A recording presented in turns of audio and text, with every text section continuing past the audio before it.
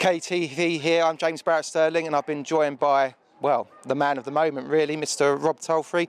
Um, Rob, what an afternoon. We'll, we'll come to all the, the pizzazz and everything afterwards, but let's talk about the game first. Happy to get another three points on the board. What did it look like from your vantage point?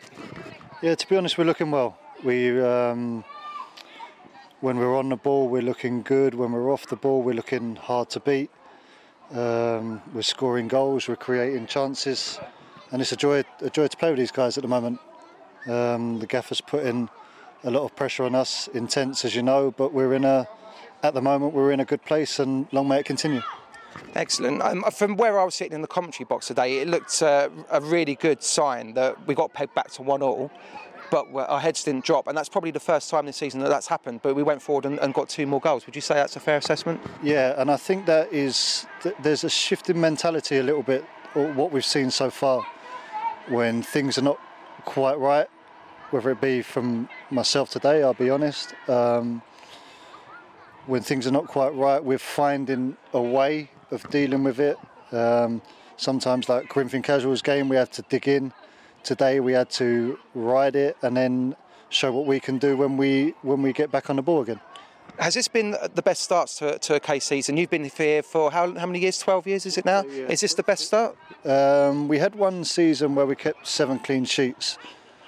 Um, Chuck that one in there. Yeah, that was, was um, a long time ago now. I think it's 2014, 15, something like that. But this is, there seems something different this year and I'll, we'll leave it leave it at that. Can I just ask, have you, have you always wanted to be a goalkeeper? Because when you're a kid, that's always the position that kind of gets left to be filled, isn't it? Yeah, well, I've been in there since I was a, a kid anyway, like seven, eight years old, and just carried on doing it. Sometimes, like today, you, I ask myself why.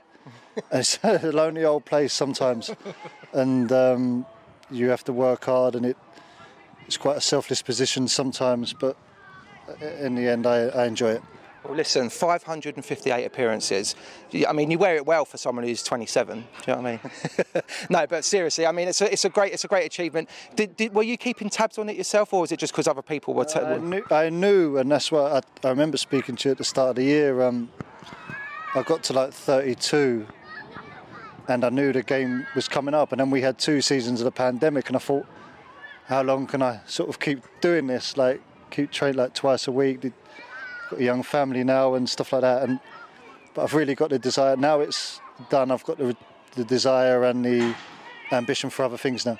Yeah, the gaffer said that you've got the desire to push on and play for a few more seasons. Uh, is it all about keeping yourself right, diet and, and fitness and all that sort of thing? I think, I think, all of the above. I think, as a lot of people know, when when family comes, uh, the job I've got is um, quite physical as well. It's hard to do it all, but all the time my body's letting me do it, and I'm being picked, and I can keep, and I can keep my levels as high as I can, then we'll see we'll see how far I can go. Excellent. Here's to another 558 touchwood.